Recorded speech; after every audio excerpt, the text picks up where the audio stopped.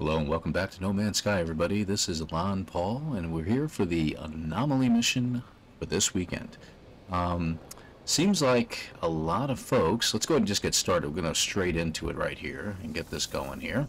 Um, seems like there's a lot of folks playing, of course, Hogwarts Legacy. Uh, really a great game from what I've seen of the gameplay from many different players. Very good. Very good game. It looks like it's going to be a lot of fun. Yes, I'm going to get it. Am I going to stream it? No, I'm not going to stream it. My gosh, Paul, why are you not going to stream it? Well, one, there's a lot of people streaming it. There's a lot of much better people streaming it. There's a lot of people streaming it that probably shouldn't be streaming it. I'm not going to mention any specific names, but it's a fellow that I watch very regularly for No Man's Sky who has never watched any of the Harry Potter movies or read any of the books. So, everybody has an opinion, as we all know. But my gosh, if you have never done any of those, why in the world would you be playing this game if you don't understand it? Well, it's like any other game anyways, you know, as far as that's concerned. So the gameplay style would just be like anything, but holy mackerel, really. Anyway, here we are. We're inside the anomaly. We're at the Nexus. We're going to check out what the it looks like it's bloodthirsty plants yet again for 1800 quicksilver and you get three salvage data from it. Ooh. Let's go ahead and do this one anyway. We'll get this going. Um, that's interesting. It changed. Salvage data. Oh, there it is. The second one is just happens to be 426,000 units. No problem. We're going to go ahead and start the mission. As you can see, my multiplayer is turned off right now. All by myself. I'll turn the multiplayer on another time when we're playing, no big deal, but let's go ahead and get this one going and see where we end up. I can get in my ship anyway. Off we go. This is my ship, the Blue Divide is what I call it. I found this one, I don't even remember what system, I've had it for a long time, but it's this lovely blue shade that you saw on there, but it's got a really cool blue trim, uh, pardon me, gold trim to it, that I don't think I've seen on another ship in this uh, shade of blue. And then the uh, the sails open up. They're kind of this teal color, this greenish teal color. Not quite as blue as a full teal. As you can see there, it's kind of a lighter green, almost like a... I don't know how to describe it. All I can say is it goes really good with the ship. Can't see it right here with the green aurora in the background, but it is what it is. Alright, so we're in the Ijirai system. Where are we going? Looking for the plant. Plant is this way. Over here. Okay, what is this planet? Toxic anomaly. Well, hopefully it's not there, but it looks like we might be. Off we go. Yep, it's on this planet. Looks like it's one of these uh, planets that are going to be really heavily shaded, so I think everything's going to change color when we get lower. Yeah, look at that. Kind of a golden hue to everything, till we land. well, you know what? So what we're looking for is we are looking for, it says land and begin your search. We always have to look for that fallen traveler. Looks like it's right down there. It's right in front of me, or should be. Yep, there he is. Looks like I'm about to land my ship right on top of his gravestones. Sorry, didn't mean to be so disrespectful. And we appear on our ship on a rock next to it. I love that. Alright, let's see if I can even access it, because I think I'm parked a little too close. Oh yeah, we're good, we're good. Snagged around the ankles, piercing thorns, completely unaware. We've reduced the numbers, but he died. The fallen traveler's log seems to mention a flora infestation, but holds no further clues. I will need to scout the lo to locate the hazardous flora. So, you all seen me doing this one before, I'm sure, in previous videos.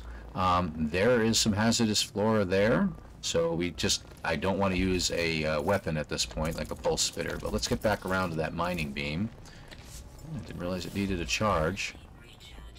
There we go. And we'll take it out. Gone. So that's one down, 11 to go. Or 10 to go, anyway. So once us to get 10 more of them.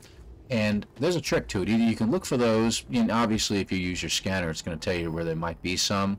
And there happens to be one pretty close by right there. Uh, so we'll go ahead and take that one too. But if you can find yourself a cave, you'll be in luck. Especially a halfway decent sized cave. Alright, he's gone. Any caves? Any caves? Any caves? I heard something. Yep. Take him out too. Alright. Do do do do do do. Alright. Not seeing much out in this direction. So again, I love, I love the Hogwarts idea. Uh, it's great. It looks like a game I'm going to go ahead and grab and, and, and hear very, very soon. Maybe not this evening, but maybe tomorrow. Um, and I'll be goofing off with it in my free time.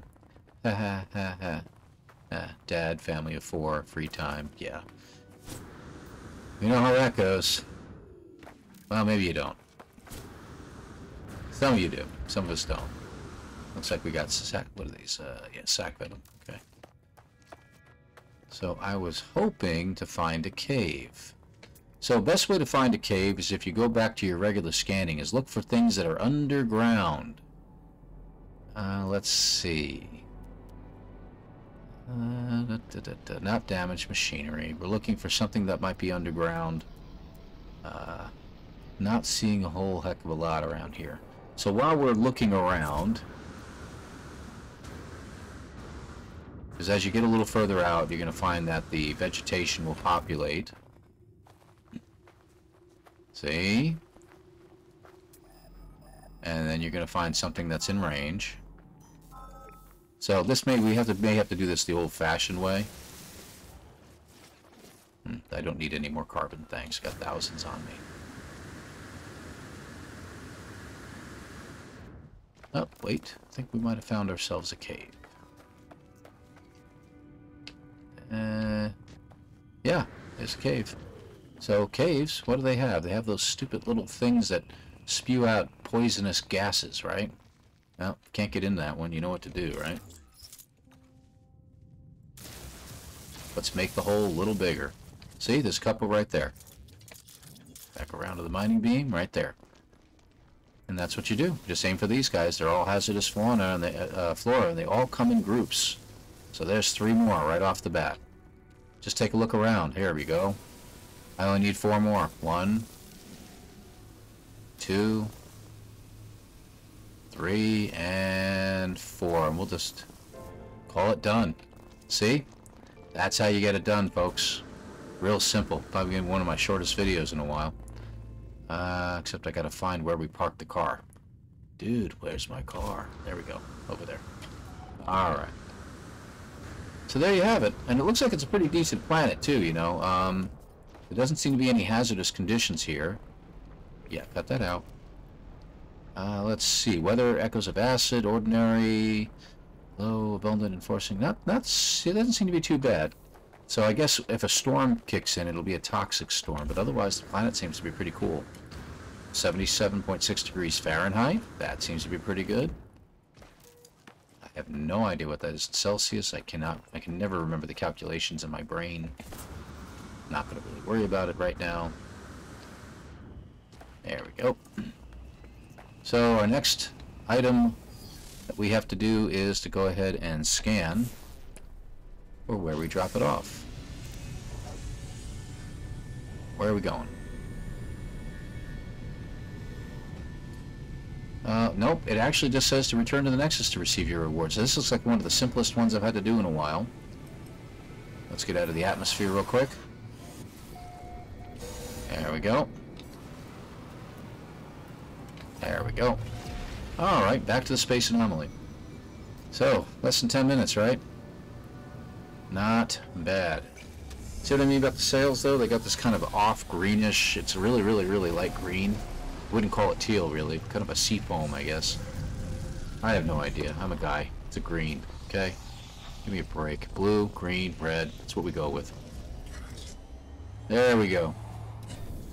Now, just a quick update in regards to myself, too. Uh, finally, as you can hear, my voice is sounding a little better. Uh, finally over this stupid illness. Uh, a couple of my uh, videos that are coming out for the regular playthrough, since I have them scheduled to come out once a week, and I've got them scheduled a few weeks out, there's going to be a couple of ones that are going to come out in the near future that are going to sound rougher and rougher. So, just a heads up. Um, in regards to myself and this uh, mission, let's go ahead and complete the mission first of all. And we complete it. There we go. 1800 more Quicksilver back in the coffers here. And some salvage data. So, like I said, for as far as updates are concerned, um, I'm going to be... I don't. I'm not going to do a whole heck of a lot of videos. I know I've done a lot in the past because I had a lot of ideas that came up. Uh, we are going to stick to doing the anomaly mission every every weekend. We'll try to stick to that unless something comes up. Uh, there's always going to be. I'm going to try to get a short put in as well as a short video to relate to that short that I put out.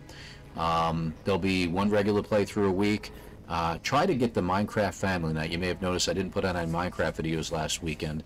Um, we had some things that came up that just did not allow for all of us to get together at all. So we kind of skipped it that weekend. But if you stick around either tonight or tomorrow, you're going to see a video come out from us. And the reason I mentioned the Minecraft one, a lot of you are not into it. Uh, going back about 10 years or so, 10, 11, 12 years or so, uh, a fella did a Minecraft series by the name of Dads Are Funny. And he always, and on his server, he'd do something called Dave Must Die. Dave was the main of the, the main guy that ran the, ran the stuff, him and his family. Dave must die, and we'd all have to find him and take him out. Um, we're going to do that tonight because well, of the way Minecraft is these days. You're going to actually set boundaries in the world and things like that. So I've got a boundary set up in a new Minecraft world of about 3,000 blocks. Uh, it's you know sky to sky to all the way down to bedrock. Um, I'm going to jump on 30 minutes in advance. You're going to watch me, you know, skitter about, make myself a base, get some items, and try to defend myself. It will be in easy mode, so that we'll have some mobs that'll be popping up, and that'll allow us to get more items, if you will. Uh, but it will also be limited. So as as as soon as the 30 minutes are up, you're going to see the timer. They're going to start logging in, the kids that is, and they're going to try to find Dad and take him out. So it's going to be a fun video. I don't expect it to last long, but of course I will be fighting back. Anyway, we hope to have fun on that. Um, as far as any other videos in the weekend, every now and then I might put out an extra video on a weekend just in case something tickles my fancy and I feel like doing it. Don't expect much. But when the expedition comes out, I do plan on, usually expedition comes out on a Thursday. I do plan on taking time off of work on a Friday and actually doing an actual video presentation uh, of the expedition. And I'm not going to play it first. I'm going to jump right into the expedition. We're going to go in kind of bare bones without no idea what we're getting ourselves into, and we'll have to figure things out as we go. It ought to be pretty funny. That usually results in all kinds of, of mayhem uh, in regards to that. So I hope you enjoy that. Um, I'm still sticking to next week. It's been really quiet on the Twitter front with Sean Murray. I haven't seen much from him. Um, he still posts some wonderful, wonderful pictures. I don't know if they're artist representations or if they're actual shots from in-game. Now, for all I know, it could just be with an advanced video card that he's taking these shots from. It could be VR. He's demonstrating the VR mode and what it's going to look like in VR. Uh, but the detail in these pictures is quite incredible. So I wonder if it's mostly just going to be an update to the game that's going to increase the graphic output and what everything looks like, um, which would be kind of nice. I think that would be really, really neat. Maybe everything's going to be upgraded. Maybe we'll be adding more animals, more plants, more fauna, more flora, the whole nine yards. Um, it's hard to say. There may be also uh, some other neat update, but usually with every update, well, big update like that, they usually do an expedition. So I'm looking forward to that. I still say next Thursday is probably going to be the day they're doing it. In which case, I will likely take off Friday from work and I'll just do a a live stream. I'll most likely do a live stream of it. I may not show myself on the screen at that point, but we'll do it live and we'll talk just like I am right now. And we'll get the comments going and everything like that, so feel free to join me. With everybody playing Hogwarts right now, um, it's kind of making things light on the No Man's Sky front for us folks like myself that are still producing videos for No Man's Sky. So, hey, if there's a lot of people out there don't feel like doing the Hogwarts thing, I get it. Um, I understand. I'm massively into it. I've read all the books many times over. I've seen many of the movies many times over.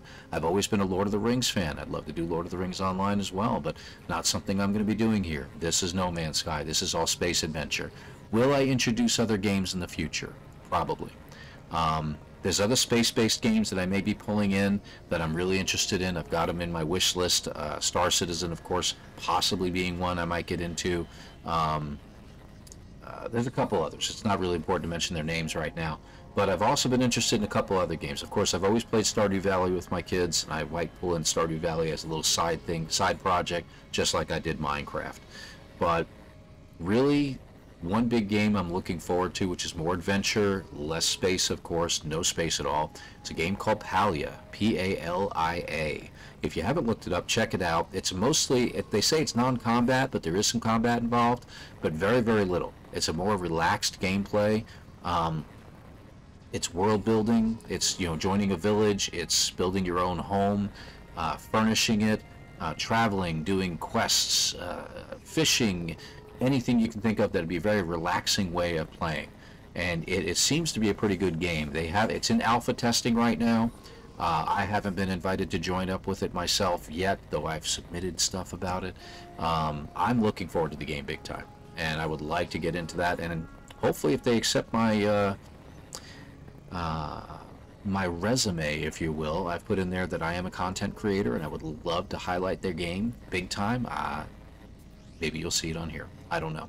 But we're not going to give up on the No Man's Sky front. Doesn't mean I'm going to stop producing videos. But I'm scaling back just a little bit.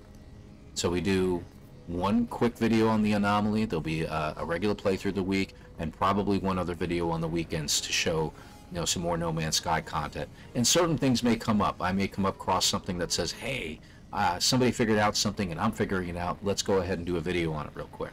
Um, I'm still looking for that S-Class multi-tool in my own system. Speaking of which, I think I want to head back to my own system real quick, so I'm going to do that while we're talking.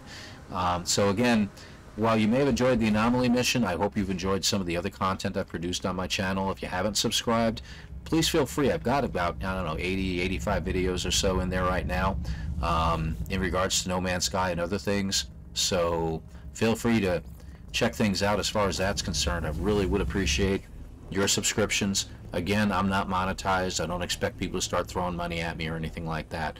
One of these days, Daddy's going to have to buy a new computer. Uh, Dad, and I don't buy base computers. I don't go out and get uh, an Acer or anything like that. I get a bare bones system. I've actually got a really awesome case downstairs uh, in my garage. It's waiting to be built up. I build everything out myself.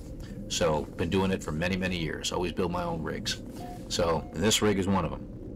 I always make sure I do all the research, make sure everything's the right thing to do. So anyway, back on my on my uh, my own starship here. So, anywho, I hope you guys have enjoyed this video, and I hope you've enjoyed everything in regards to the content.